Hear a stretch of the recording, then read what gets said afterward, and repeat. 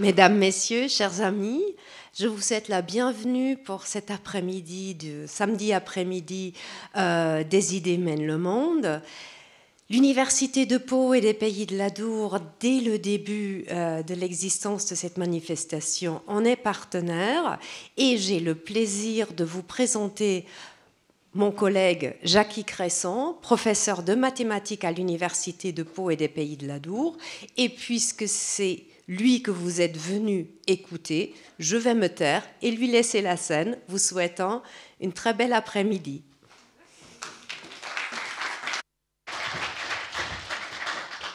Euh, merci beaucoup pour la présentation. Donc, euh, bah voilà, donc il y a déjà le. Alors il y aura un peu moins, enfin il y aura un peu moins et un peu plus que ce que j'avais prévu euh, dans la présentation. Je voulais faire une présentation de tous les modèles qu'on avait autour de, de ce qu'on appelle les modèles proie prédateurs. Alors je vous expliquer pourquoi. Et en fait, le point de départ, pourquoi ça a évolué un petit peu, c'est aussi parce que le sujet est, vaste, donc il y a des choix, il y a des choix à faire. Mais ce qui est clair, c'est que donc ces modèles-là, ils ont eu une terminologie à un moment qui s'appelait la lutte pour la vie. Hein. Euh, et donc c'est pas pour rien que c'est la lutte pour la vie. Donc c'est exactement ce qu'on va essayer de discuter maintenant.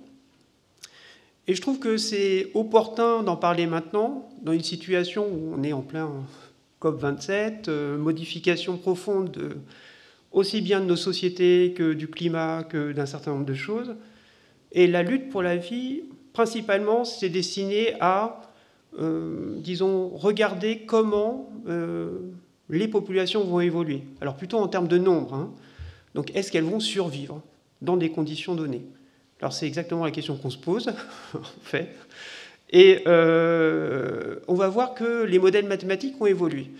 Alors les modèles mathématiques ne seront pas anodins, ils seront assez simples au niveau, je veux dire, formel du terme, mais ce n'est pas ça que je veux vous expliquer finalement.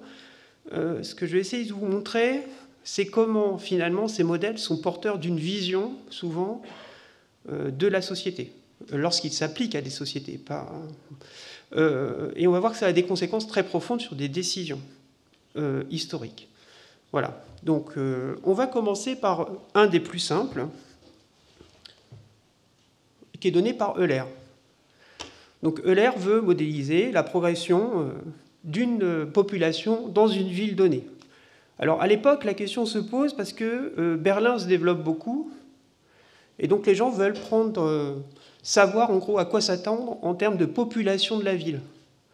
Donc Euler, bah, c'est le début du calcul, hein, et du calcul infinitésimal notamment, et donc il va essayer de trouver des formules qui permettent de calculer ben là j'ai mis quelque chose. Hein, si, vous avez, si votre population augmente de 1 trentième à chaque fois, vous avez 1 plus 1 trentième, et au bout de 100 ans, vous aurez puissance 100 fois la population initiale.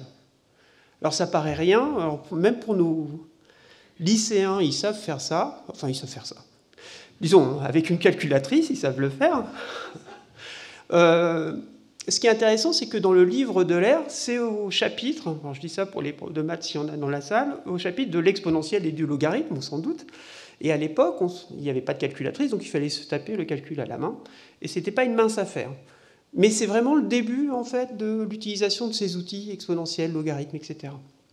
On y est vraiment au tout début. Alors, euh, évidemment, il va donner cette formule-là, et c'est une croissance qu'on appelle géométrique vous avez votre population qui va être multipliée par un nombre fixe à chaque fois. Ici, 1 plus 1 trentième. Comme, le comme euh, votre multiplication est plus grande que 1, bah, la population explose. Et elle explose euh, assez rapidement. Euh, alors en fait, déjà à l'époque, le modèle qu'avait fait Euler n'était pas juste pour répondre à la question de la ville.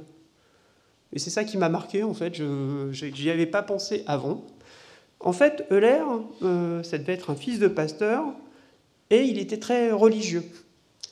Et à l'époque, il y avait des débats euh, pour savoir si ce qui était contenu dans l'Ancien Testament était raisonnable ou pas. Alors c'est un débat qui va continuer très très longtemps. Hein. Et notamment, une des questions qu'il y avait, alors, euh, c'était est-ce que c'est possible vraiment, puisque en fait on avait daté euh, la durée entre le déluge et l'époque bah, de l'ère, et ça faisait en gros 2500 ans. Et la question c'était est-ce que c'était possible qu'en 2500 ans, la population soit partie de 6 personnes et atteint le nombre de personnes qu'on voyait sur la Terre En tout cas, celles qu'ils observaient eux autour d'eux, en plus. Alors, euh, beaucoup pensaient que non. Et donc, Euler, évidemment, là, euh, il dit là, je vais faire quelque chose. C'est pour ça que je vous ai mis la citation. Euh, il va mettre On voit par là combien sont ridicules les objections de ces incrédules qui nient que toute la terre ait pu être peuplée par un seul homme en si peu de temps. Et c'est vrai, il a, euh, donc lui, il a une croissance géométrique, ça explose très très vite, et donc du coup, euh, il se dit, bah voilà, là j'ai tenu un, un, élément qui va permettre euh, de dire, bah non, mais c'est complètement possible, il n'y a, pas de, a pas de contrainte. Alors d'ailleurs, on voit déjà un effet là, pour le coup, de la modélisation mathématique. Hein. C'est cette phrase va être formulée par un mathématicien de premier plan, hein, c'est peut-être un des plus grands mathématiciens de l'époque, et euh, c'est pratiquement pas euh, possible de le contredire, puisqu'il il obtient une démonstration par une formule mathématique d'un résultat. Alors, euh, j'insiste sur ce point, c'est quelque chose qu'on va retrouver à beaucoup, beaucoup, beaucoup d'endroits dans l'histoire de ces modèles pour prendre des décisions ou pour conforter une opinion qui est complètement discutable, mais qui a l'apparence de ne pas être discutable parce qu'on a utilisé des mathématiques. Voilà. c'est là où euh, il y a quelque chose euh, qui est vraiment très, très important à comprendre. Alors, on continue on va en tomber sur euh, Malthus. Alors Malthus, on en a tous entendu parler. Euh, alors qu'est-ce qui se passe pour Malthus? Alors Malthus, ce qui est vraiment intéressant, alors là, c'est pareil, euh, c'est en Angleterre, et il y a des lois qui sont promulguées à l'époque pour aider financièrement les familles qui sont dans la misère. Alors, euh, vous imaginez bien, hein, c'est euh, l'Angleterre, donc il y a l'aristocratie. Euh, alors en France, ça touche moins parce que justement on a Condorcet d'un côté, et puis on a aussi la Révolution française qui est passée par là entre les deux. Mais vous allez voir que ça ne sera pas suffisant pour complètement exclure ce type d'idée. Donc ce que dit Malthus, c'est c'est sans doute pas une bonne idée d'aider les gens qui sont dans la misère. Alors, je, dis ça gentiment parce que je pourrais vous donner des références de textes où c'est vraiment dit de manière extrêmement sauvage.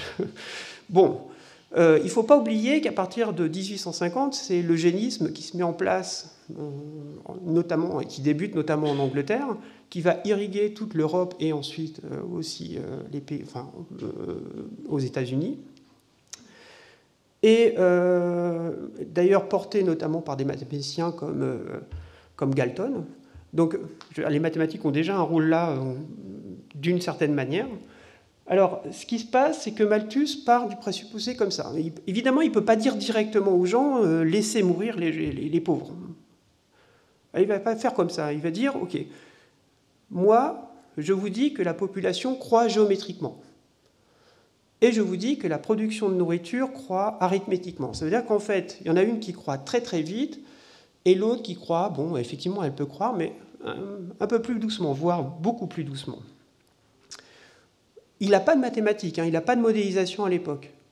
Ce qu'il va dire, c'est que puisque la, la population va croître de manière extrêmement forte, on va avoir un problème d'alimentation.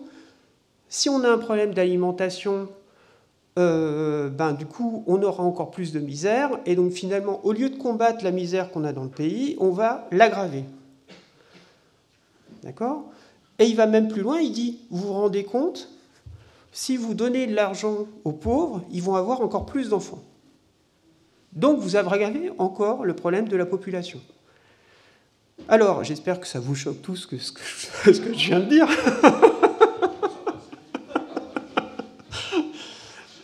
Alors, ce qui est intéressant, c'est qu'au niveau de l'argumentation, et c'est ça aussi euh, sur lequel je vais insister pendant cet exposé, au niveau de l'argumentation, donc là, on a une argumentation qui, qui, marche. On, a A implique B et implique C. mais évidemment, alors on peut faire pire, parce que là, je vous ai dit, il n'y a pas de modélisation. On pourrait très bien mettre ça en équation et cacher ce que je viens de dire sous des formules. Et qu'est-ce qu'on cacherait sous les formules? C'est la petite phrase du début de Malthus. Si vous donnez de l'argent aux pauvres, ils vont avoir plus d'enfants. Mais d'où sort euh, cette constatation? Quel est euh, le support euh, sociologique d'une telle constatation? Ben, il n'y en a pas. En fait, c'est une vie. pour le coup, alors là, on va, on va voir tellement d'exemples que ça va être assez terrible c'est une vision de la société telle qu'il la voit lui. Évidemment, il ne fait pas partie des pauvres.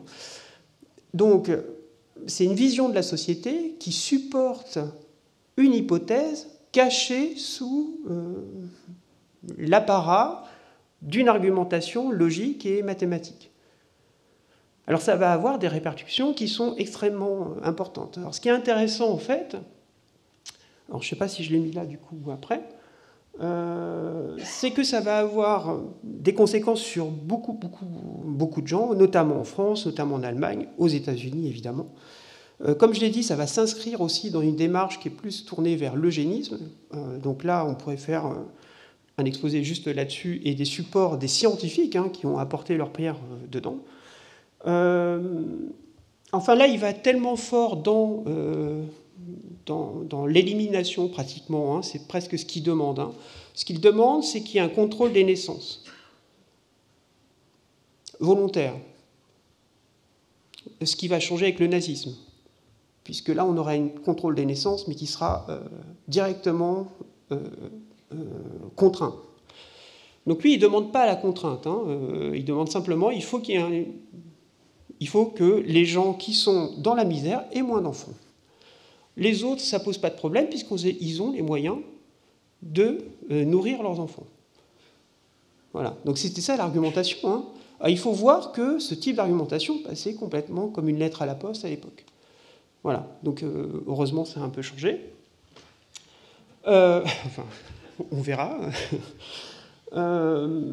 donc ça va avoir une influence même sur des, scientifiques comme Charles Darwin, vous voyez que dans l'introduction de l'origine des espèces, donc j'ai pris la citation ici, la lutte pour l'existence à laquelle sont soumis tous les êtres organisés dans l'univers, qui est la conséquence nécessaire et inévitable de la forte raison géométrique qui régit leur accroissement et constitue l'application au règne animal et végétal de la doctrine de Malthus. Alors il n'y avait aucune démonstration nulle part hein, de la croissance géométrique des populations. Hein.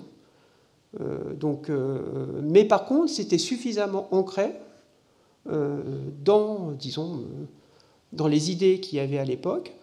Alors, il y avait effectivement des progressions, mais est-ce qu'elles sont exactement de nature géométrique ou pas, ça, on ne savait pas. Et donc, ça va avoir des, conséquences. Alors, c'est même encore plus que ça, puisque là, on voit, juste dans, dans l'énoncé de cette phrase de, Darwin, hein, que c'est inévitable.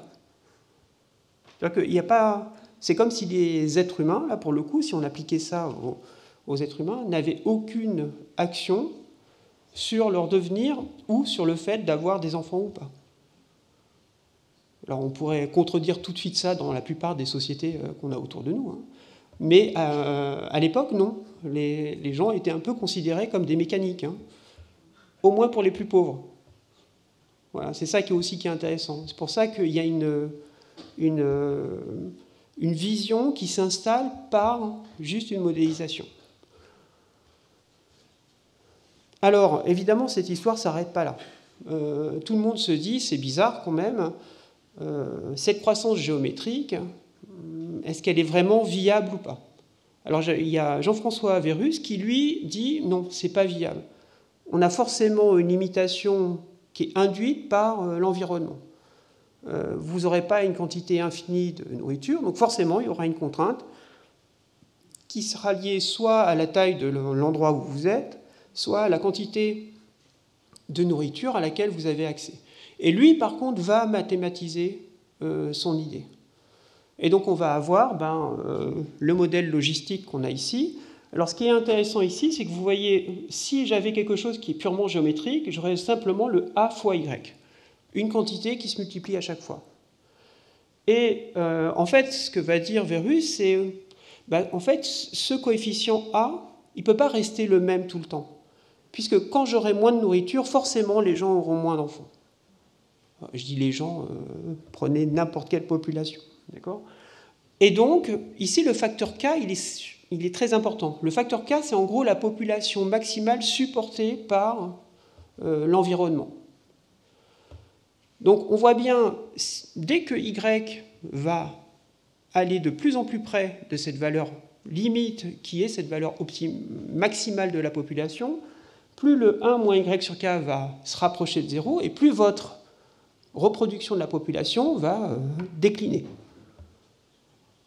Alors, bon, donc ça, c'est une première idée.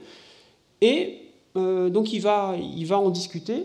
Euh, mais de la même manière que Malthus, il va avoir quand même une conséquence de son modèle, c'est qu'il dit quand même, bon, de toute façon, quoi qu'il arrive, on va atteindre un moment, on va avoir une période de croissance. Et donc, Peut-être serait-il d'une bonne politique de fixer le nombre des enfants plus que celui des propriétés. Pourquoi? On se dit, quel rapport avec les propriétés? Ben, Parce qu'à l'époque, il ne faut pas oublier que euh, c'est ça le, problème, c'est les discussions autour de la propriété privée. Donc on, voit bien à quel point euh, ces discussions-là ne sont pas juste des, discussions de maths. Hein. On voit que c'est des discussions qui sont liées à la structure de la société, au fait que on ait ou pas besoin de euh, limiter les propriétés privées, etc. etc. Donc c'est des visions politiques cachées sous des mathématiques. Alors, on peut les discuter, simplement, ce qui est intéressant, c'est qu'elles ne sont pas présentées de cette manière-là. Et dans les faits, ça ne se voit pas dans l'équation. Alors, euh, cette équation, où vous avez une contrainte qui est due à l'environnement, elle, va, euh, elle va avoir pour le coup beaucoup, beaucoup d'applications. Alors on va voir quelques applications. Alors la première que je trouve marrante, parce que c'est un cas justement, on se dit, ben alors imaginons maintenant qu'on prenne une population où on n'a pas de contrainte de nourriture et pas de contrainte de euh, surface dans laquelle se développer. Qu'est-ce qui va se passer? Alors il y a un exemple qui est vraiment. Euh, c'est celui que je préfère parce qu'il me fait rire. Euh, c'est celui des lapins en Australie. Alors évidemment, les lapins ne sont pas endémiques en Australie. ils sont apportés par les Anglais pendant la colonisation. Et ils sont apportés pour quelle raison? C'est parce que un des colons anglais en avait marre de manger ce qu'il y avait sur place, les kangourous, etc., etc. Et puis il voulait faire de la chasse. Et lui, il voulait chasser des lapins. Alors, il emmène des couples de lapins. Il emmène six couples. Et euh, alors on se dit, bon, bah oui, pourquoi pas? Sauf que en Australie, alors c'est là où on va rebondir pratiquement sur ce qui va se passer après, il n'y a pas de prédateur du lapin, et euh, il y a de la place et de la nourriture. L'Australie, c'est grand. Alors ce qui est intéressant, c'est que euh, ben, du coup, si on, applique le modèle de Verus, euh, puisque le cas qui est supporté par l'environnement local du lapin est très grand, ben, du coup, c'est pratiquement une croissance géométrique. On va avoir du A fois Y. Donc on devrait s'attendre à avoir beaucoup de lapins. Et c'est effectivement ce qui va se passer on va avoir, donc je ne sais plus combien, 600 millions, 600 euh, millions de lapins, 60% du territoire, en 50 ans. Alors, euh, nous, ça nous fait rigoler, enfin moi, ça me fait rigoler. Mais en fait, ce n'est pas du tout rigolo parce qu'ils mangent vraiment énormément, à tel point que le gouvernement israélien, australien va prendre des décisions. Et il va faire une barrière anti-lapin dans le pays. C'est la plus grande construction au monde, plus grand que la Grande Muraille de Chine. Et c'est pas pour arrêter des êtres humains avec des sabres et tout, c'est pour arrêter des lapins. Euh, voilà, 1833 km de long euh, pour empêcher les lapins de s'étendre à toute l'Australie. Euh, alors ça ne va pas marcher. Hein. Ils vont l'étendre en plus. Hein. Au total, c'est 3256 km de long. Hein. Alors ça marche pas. Ils n'arrivent pas à stopper les lapins. Les lapins, ben, on le sait, ça creuse des trous, ça passe sous les barrières. Bref. Alors ils essayent tout. Ils essayent de les tuer au fusil. Mais au bout d'un moment, ils n'y arrivent pas. à la mitrailleuse, par hélicoptère, ils n'y arrivent pas non plus.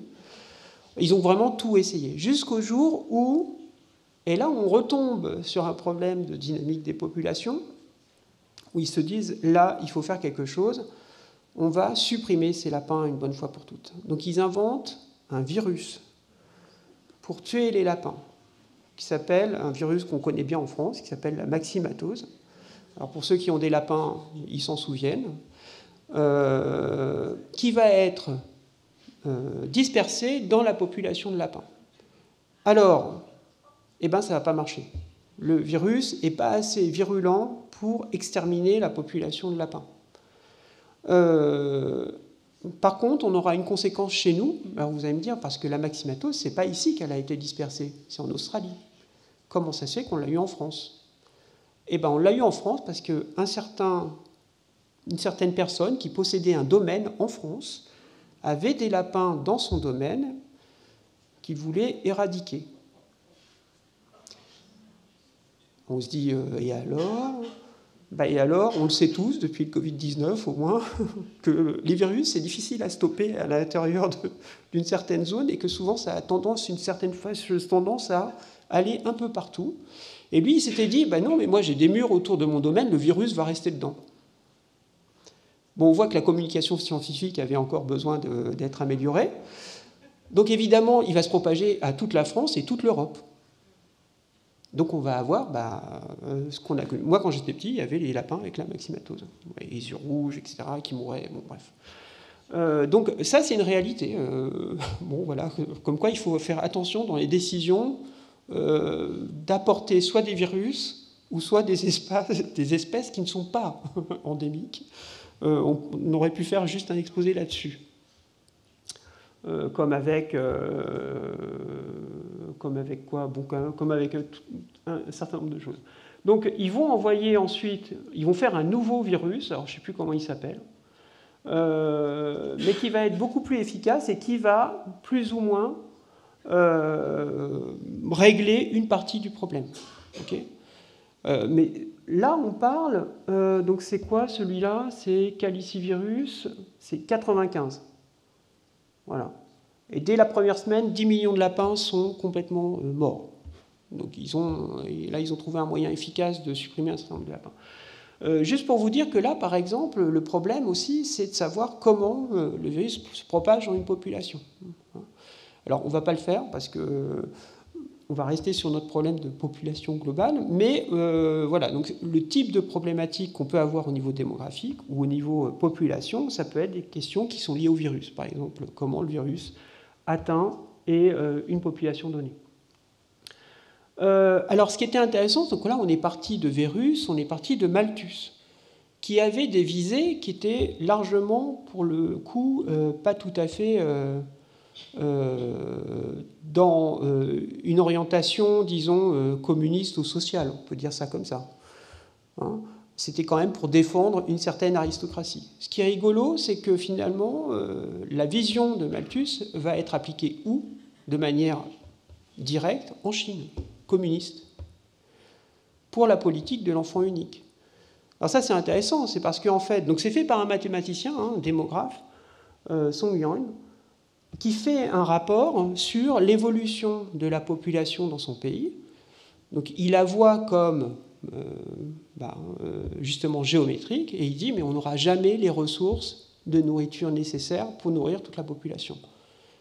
Et là, pour le coup, ça ne va pas prendre dix ans pour prendre la décision, ils vont la prendre dans le mois qui suit. Hein donc la politique de l'enfant unique découle directement d'une modélisation extrêmement sommaire sur l'évolution géométrique d'une population par rapport à l'évolution arithmétique d'une production euh, de nourriture. Donc là, pour le coup, ça a duré jusqu'à euh, il n'y a pas si longtemps, hein, la politique de l'enfant unique. Donc, alors, après, on peut discuter, mais vous voyez que la nature même du modèle n'est pas forcément importante. Est-ce que le modèle était juste? Non. Est-ce que le modèle était précis? Non. Est-ce qu'on s'en est servi pour prendre une décision politique? Oui. Donc, là, on voit comment, comment on peut y arriver. Euh, alors malgré tout, le modèle de Verus, il va aussi utiliser dans certains cas. Alors là, je vous montre un exemple, c'est le parc Kruger au Mozambique, où à un moment, on va protéger les éléphants. Ils se sont décimés pendant des années et des années. Et on va faire une réserve et on va voir la progression du nombre d'éléphants dans ce, dans ce, parc. Le problème, c'est, on voit d'ailleurs hein, euh, sur la courbe, on va avoir une espèce de stabilité au bout d'un moment de la quantité d'éléphants. Et euh, ce qui se passe, c'est que mm, donc elle se stabilise, mais en fait, c'est au détriment euh, d'autres espèces de l'écosystème, et notamment là, c'était ben, les, éléphants se frottent à certains arbres et euh, visiblement la population, alors je dis population même si ce n'est pas des êtres vivants, mais de baobab va décroître. Donc là, il y a un choix entre laisser progresser la population d'éléphants et euh, ben, laisser euh, s'éteindre une, une autre partie de l'écosystème. Alors en fait, ce que va mettre en place le parc Kruger, qui est une, conséquence directe hein, de la modélisation la type virus, euh, ils vont d'abord vérifier que le modèle de virus, ils vont le calibrer, ils vont vérifier que calibrer, ça veut dire ils vont calculer les coefficients qui entrent dans le problème. Ils vont vérifier que s'ils partent des années 1900, ils sont capables de retrouver à peu près les chiffres de la population que eux avaient vraiment mesurés sur le terrain. Et ils vont euh, décider, bah là on le voit à peu près, hein, que euh, sur la foi des, modèles qu'ils ont, en gros 7500 éléphants, c'est le maximum que peut supporter l'environnement. Et donc du coup, ils vont euh, avoir une politique de gestion du nombre d'éléphants sur le parc. Donc euh, concrètement, ça veut dire qu'ils vont euh, supprimer euh, les éléphants excédentaires par rapport au nombre qu'ils se sont fixés dans la totalité du parc. Donc vous voyez que ces modèles-là, ils ne sont, pas, sans conséquences directes, là, ils sont conséquences très très directes sur la gestion du parc. alors, on en vient à un autre modèle qui s'appelle le modèle de l'octave Voctera. Jusqu'à présent, vous aviez votre population et vous aviez un coefficient qui prenait plus ou moins en compte la partie de l'environnement.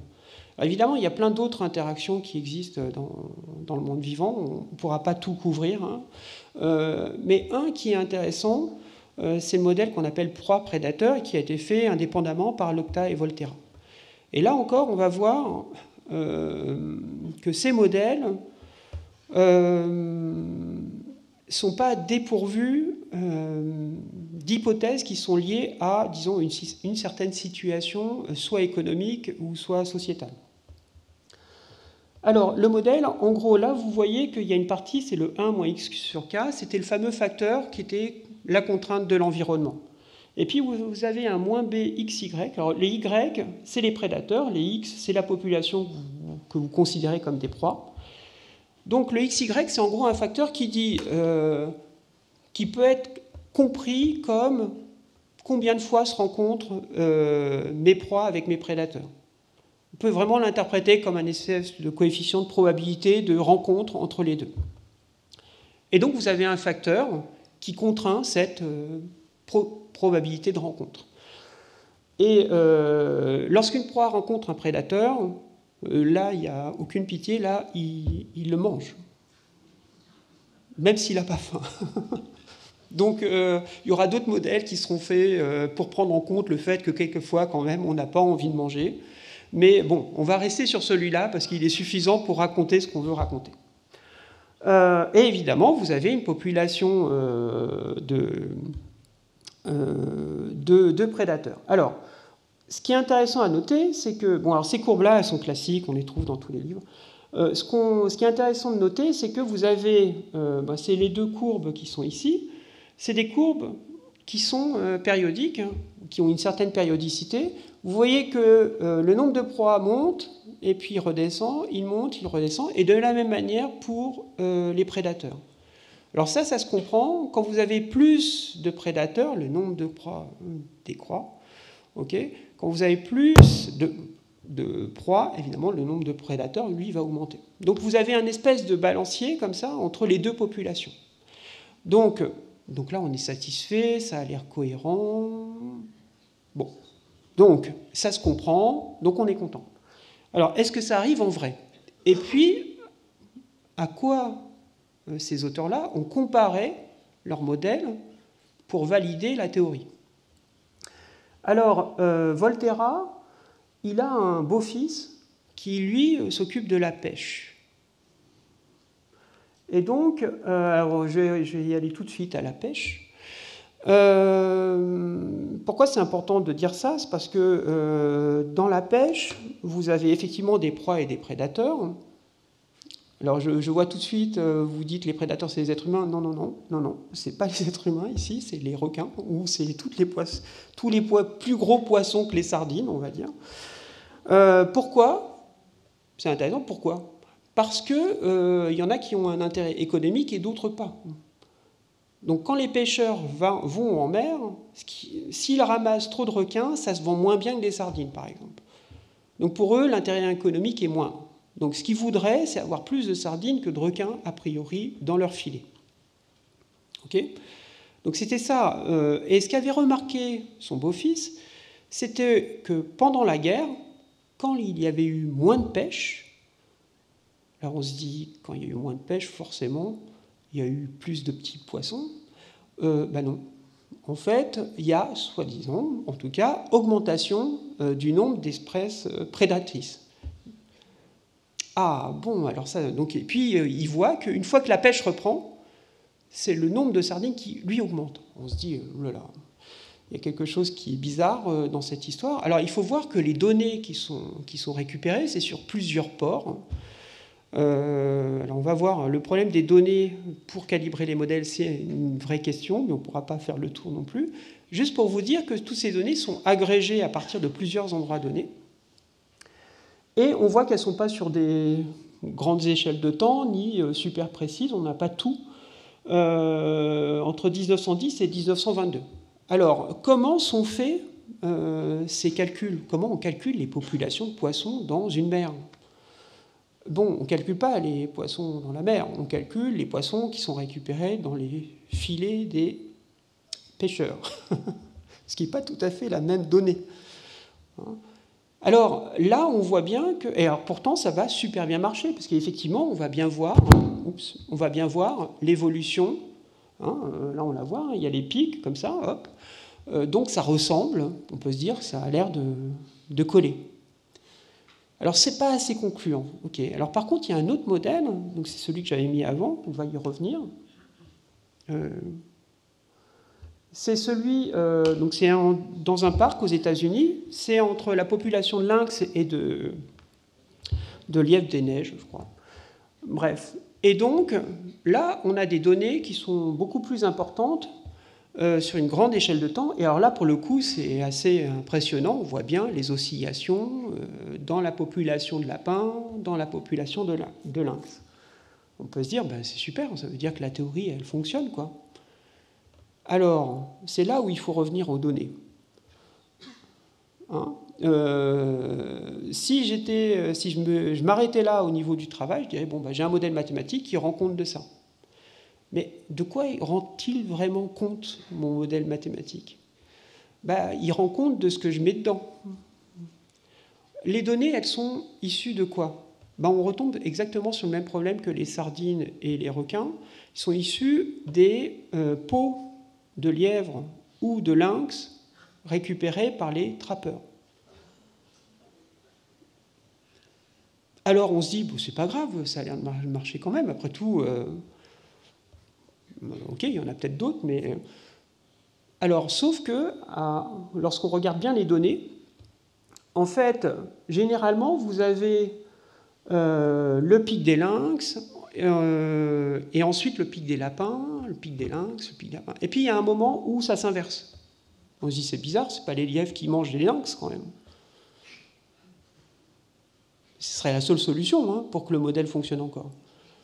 Bon, qu'est-ce qui se passe? Bah, en fait, c'est là où on se dit, peut-être il faut voir finalement d'où sortent nos données et ce qu'elles veulent dire. En fait, ces données-là, elles ne sont pas anodines, elles sont liées à un marché économique. Et ce marché économique sous-jacent, c'est celui des pots de, lynx ou euh, de lapin. Et encore une fois, euh, quel est l'intérêt de vendre? Alors si vous avez beaucoup de lapins, les lynx sont laissés tranquilles. Mais euh, si vous avez moins de lapins, bah, vous allez plus aller chercher les lynx. parce que de toute façon, il n'y a pas de lapins. Donc, si vous devez aller dans la forêt pour récupérer vos pots, autant aller là où vous avez plus de chances d'en récupérer. Et c'est plutôt l'évolution du coût du marché financier autour de ces pots que la véritable écologie du système que vous êtes en train, du coup, euh, de mesurer. Ça, c'est juste pour vous dire que quelquefois, on peut avoir un, modèle qui est complètement cohérent, qui, redonne plus ou moins la bonne figure des mesures, et qui pourtant est faux. Donc, il faut faire attention. Euh, alors, donc du coup, on en vient. Alors c'est ce que c'est ce que j'avais pas prévu au début en fait. Je, vous avoue. Hein. Euh, je voulais vous emmener vers les modèles de Conway, etc. Et puis, en fait, non, c'était trop tentant. Donc euh, du coup, on est, on vient juste de sortir, on est encore dans la COP 27 pour les décisions sur le climat, etc., etc., sur l'évolution de tout ce qui s'est passé autour de notre action sur, euh, disons, la nature en général, euh, pourquoi on ne se mettrait pas, nous, à la place du prédateur, pour le coup, et la nature à la place de la proie? Alors ça a été fait. Et ce qui est intéressant, c'est pourquoi ça a été fait. Alors, c'est un article de 1998. J'ai été vraiment étonné qu'un modèle aussi simple soit seulement fait en 1998. Je pensais que c'était fait bien longtemps avant. Alors sans doute, il y a, il y a eu quelques économistes qui l'ont fait avant. Ah oui, j'ai oublié, et c'est important, c'est des économistes qui l'ont fait, ce modèle. Alors, euh, on voit, euh, donc euh, là vous voyez une photo de l'île de Pâques. Pourquoi? Parce que c'est censé expliquer pourquoi euh, la population de l'île de Pâques a euh, été décimée. Et une des hypothèses avancées par l'article, c'est qu'ils ont été décimés parce qu'ils ont tellement exploité leur environnement qu'ils n'avaient plus rien à manger. Donc, euh, on peut se dire, bon, ça a l'air réaliste. Hein. Alors, c'est là où on va voir aussi qu'il faut prendre quelques précautions. Mais euh, le point de départ, c'est vraiment ça. Hein. Vous voyez, ils prennent le modèle l'Octa Volterra, donc c'est celui euh, prédateur-proie. Le prédateur, du coup, euh, c'est les êtres humains. Et la ressource, ben, la ressource, la nature, c'est la proie.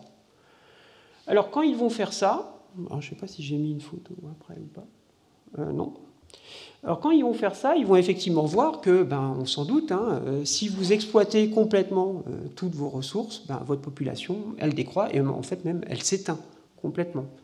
Alors ça, ce n'est pas, une, pas une grosse euh, avancée.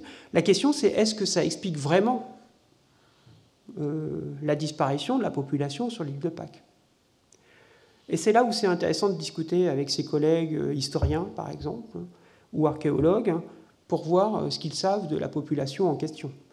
Parce que le gros euh, de, la disparition de la population ne va pas être fait du tout par la disparition des ressources, ça va être fait par les maladies apportées par euh, les colons. Donc du coup, c'est complètement différent. je crois qu'à la fin, il reste 110 personnes autochtones. Hein. tous les autres sont morts de maladies. Donc là, c'est encore un exemple où l'article, donc on est en 1998, hein, c'est pas un article, tous les autres étaient aux alentours de 1900, euh, euh, même avant, 1800 hein, et quelques. Donc là, on est euh, dans l'époque moderne, hein, on a tous les moyens mathématiques, on sait ce que c'est une démonstration, on sait ce que c'est un résultat, on pourrait se dire comment ça se fait que ça passe comme une lettre à la poste dans une bonne revue d'économie. bon, alors heureusement, c'est discuté après, mais on voit que malgré tout, là c'est pareil, c'était on peut supposer qu'il y a un point de vue euh, sur l'histoire, ou en tout cas on a envie de montrer et d'illustrer par un exemple, quitte à faire un faux historique. ce qui est le cas ici. Alors, ce modèle proie-prédateur, il va inspirer énormément de gens. Et là, je vous donne un article beaucoup plus récent, 2014. Alors, 2014, qu'est-ce que c'est? Les gens ont dit, OK, ça n'explique pas la disparition de la population sur l'île de Pâques. Euh, on va quand même essayer d'en faire quelque chose. Alors, qu'est-ce qu'on va en faire? Alors, ça, c'est très intéressant aussi. Euh, on va dire, on va rajouter un certain nombre de, paramètres, et notamment, on va diviser la population entre, en gros, une population qui est laborieuse, qui va être celle qui travaille, une population d'élite, entre guillemets, qui ne travaille pas, mais qui fait travailler la classe euh, laborieuse.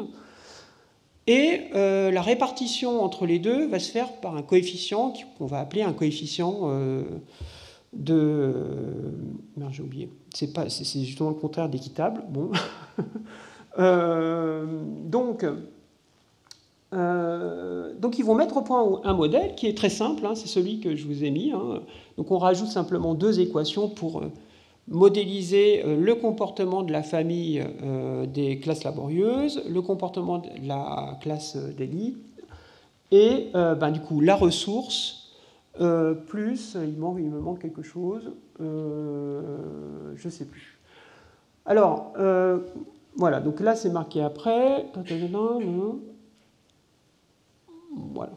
Et donc, qu'est-ce qui va se passer? Bon, ils vont faire des modélisations. Et cet article-là, celui que je vous montre ici, va avoir très grand, une très grande répercussion sur la communauté. Vous voyez que c'est encore fait en économie.